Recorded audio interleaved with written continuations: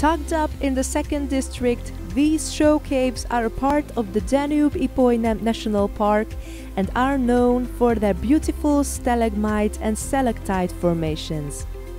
The Palvölgyi caves are easy to reach by public transport and are open to visitors via guided tours running each hour, lasting about 40 minutes.